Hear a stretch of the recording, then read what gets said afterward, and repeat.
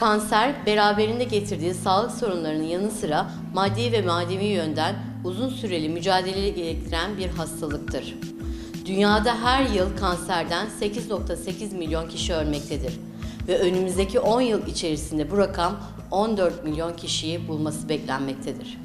Erkeklerde en sık görülen kanserler akciğer ve prostat kanseri iken tütüne bağlı kanserler de erkeklerde önemini korumaya devam etmektedir.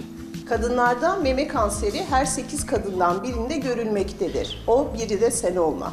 Bağırsak kanseri hem kadınlarda hem de erkeklerde sık görülen kanserler arasında 3. sırada yer almaktadır. Çocukluk çağı kanserlerinde ise lösemi en sık görülen kanser türüdür.